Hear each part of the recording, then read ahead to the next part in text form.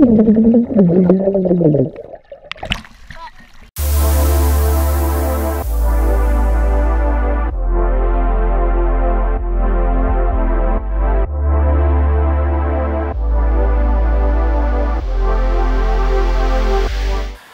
we just got back from the Keys. A bit of an adventure. Mostly the road trip. Because what would normally be, what, a 12 hour trip? Yeah. 11 hour trip. Took us 18 hours, mainly because of traffic. But we did get a flat tire on the trailer. Yes, that ate up about three hours. Yeah, that was three hours. We didn't have a spare, although Somebody suggested a spare, but someone else said, no, we don't need a spare. I can fix it if we get a flat tire. bought a plug system, a plug kit, and got. We have a air compressor already, so I figured, you know, if we got flat, it's just going to be a nail. When the tires are pretty much brand new on the trailer, so if anything, it'd just be a nail.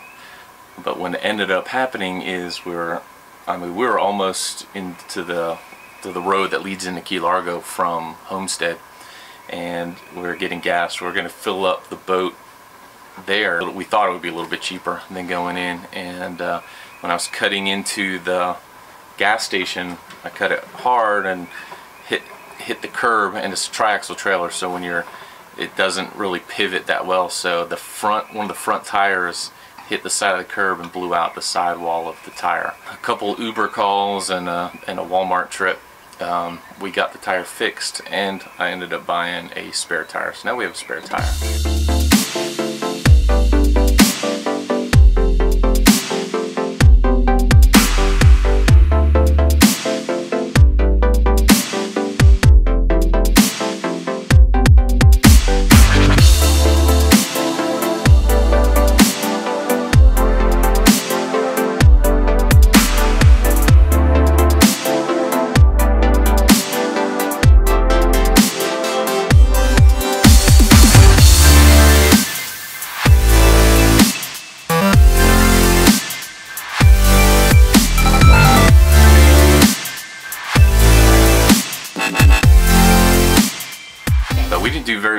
Recording coming down because it was a bit of a, a stressful trip. You know, we were in a hurry to get stuff loaded up. I think we packed probably a little too much stuff. A lot too much. Yeah, so that's a good word of advice. Um, we knew we were going to be on a small boat, um, but I think we packed as if we were staying in a 2,000 square foot condo. And, you know, we just we wanted to have everything just in case. But we didn't have room for just in case everything. Yeah. It's a problem for me because I'm a just in case girl. yeah, we probably used a third of what we brought, I think. Yeah. And we used the Yeah. plates. The plates were good. We didn't play any board games. I mean, by the time we were done with the day, we were pretty tired. We we watched a movie each night. It was a good time to stay cool in the boat. The air conditioning worked great. Yeah. Too good almost. Yeah. I mean, it was, it was pretty, leave. it's pretty cold on the boat. Which reminds me of our first night there. We couldn't get the. We got there at about what seven o'clock at night. Yeah. And it turns out that they're the place that we stayed at, White Marlin Marina, which was a great marina, actually. Yeah. Um, they had a boat ramp. You know, I talked to the lady, yeah, we have a boat ramp, and I explained our boat and all that good stuff. And we get down there, it's like, oh, this is not gonna, you're not gonna be able to get this in. One, it was low tide. Two, uh, which that didn't end up being the problem, was the tide. It was the the ramp itself. It was angled so much that you know our trailer is 30 feet long, if not more than that. The angle it just you know Bottomed we bottomed out on it. So we ended up staying the night. We were going to stay the night on the boat, but it was just so hot and we couldn't get plugged in to where the air conditioning would work. So because it just got so hot, we ended up sleeping in our expedition. Six of us and two dogs. that great. was a that was that was probably the best or not the best, but the memory that the kids will probably remember the most because it was so uncomfortable and but it was cool. You know, we had the air conditioning going. And Yeah, we were in the car all night. Yeah, ran Almost ran out of gas. I mean, we planned it. We just, you know, had the lady communicated with us that that ramp may not support that. You know, we could have figured out an alternate location to to put the boat in, which we ended up finding the next day. Yes. uh, which was a pretty decent boat ramp. I mean, that, that That was a worked good out boat ramp. Yeah. worked out pretty good. It was about five miles away from where we were staying, but we worked it out to where we can get it in and, and over there. 33rd Street in Marathon. Yep, 33rd Street City Dock, uh, right by the Marathon Yacht Club. Um, this is a good place to put in. It's on the Gulf side. We were staying on the Atlantic side, um, but it was easy to get around. Um, go through Vaca Cut.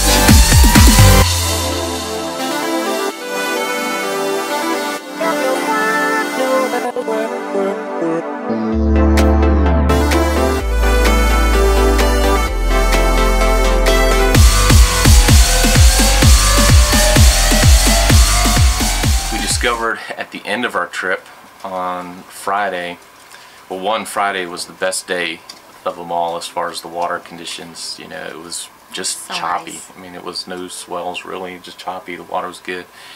And we found the sandbar, which we've gone by the sandbar, we just didn't think of going there, uh, right by Vaca Cut um, in Marathon.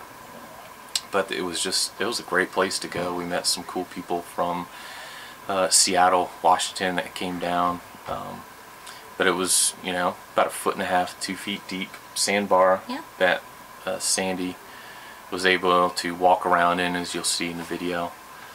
Um, but it was a great little place. It was. go. It was good. Saw stingrays. Stingrays, yeah. Oh, a sea urchin. Yeah, that. Yeah, Ellie picked up a sea urchin. She didn't touch the sea urchin, but it was attached to something, and we're like, throw it down. We did bottom out the boat, which wasn't a big deal.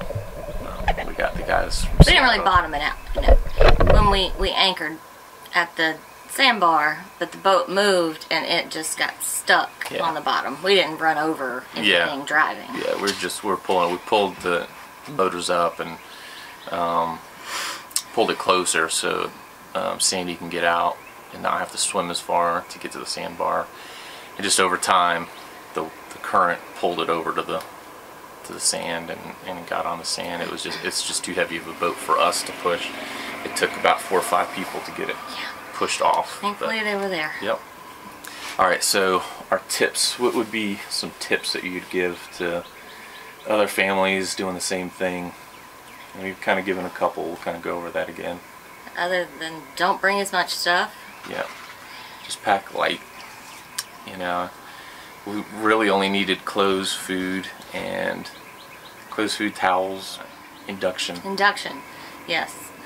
And our magma pots worked great to because they all put together and it's a little bitty space, about that big, and so that was good. Yeah. Um, and we didn't even eat all the food we brought, Yeah. and we probably bought too many groceries down there because we didn't um, do as much preparation at home for a meal plan.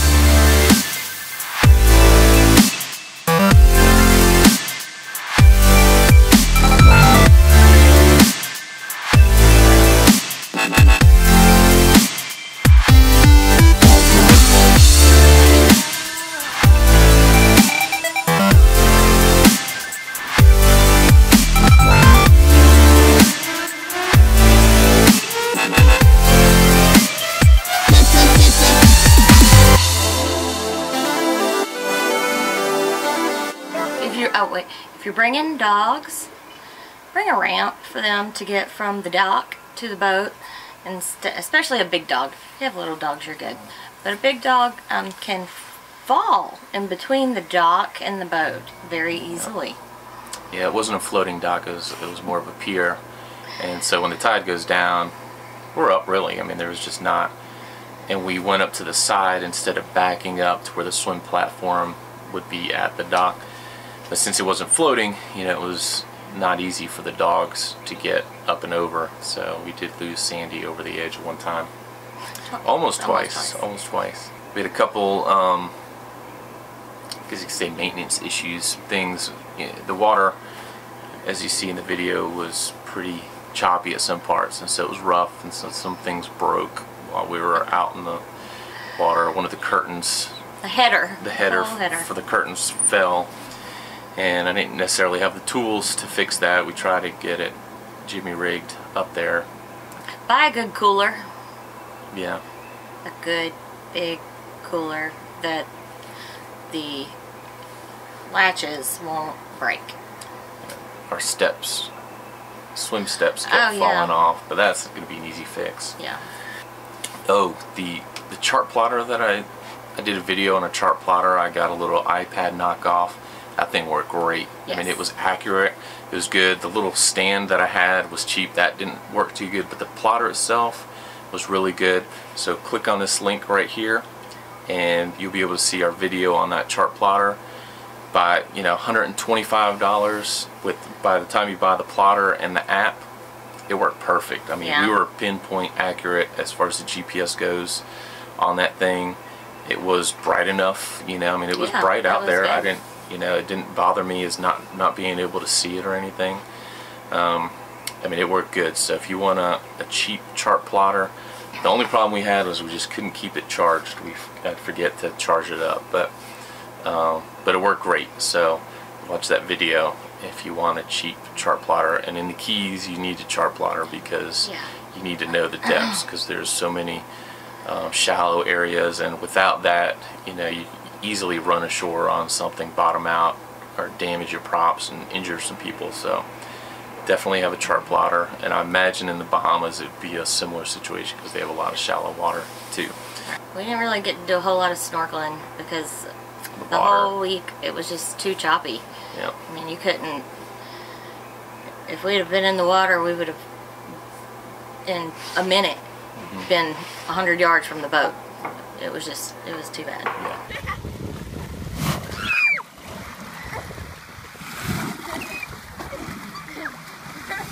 The way the water comes up, it sounds. Down, please. Dad, you're gonna fall. Dad, hold on. Okay, three. Oi. Ellie.